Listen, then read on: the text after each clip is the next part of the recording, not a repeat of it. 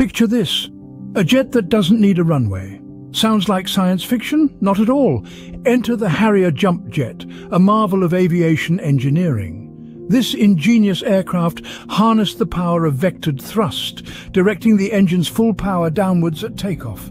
The result? A jet that could take off vertically, right on the spot, no runway needed. Just when you thought it couldn't get more impressive, the Harrier had another trick up its sleeve. It could hover mid-air, just like a helicopter. This made it perfect for missions needing precision and finesse, not just raw speed. And the cherry on top? The Harrier jump jet could also perform a conventional takeoff, proving its versatility. A runway, a helipad, even an aircraft carrier, the Harrier, could handle it all. Truly, a testament to human ingenuity and innovation. Now, isn't that special?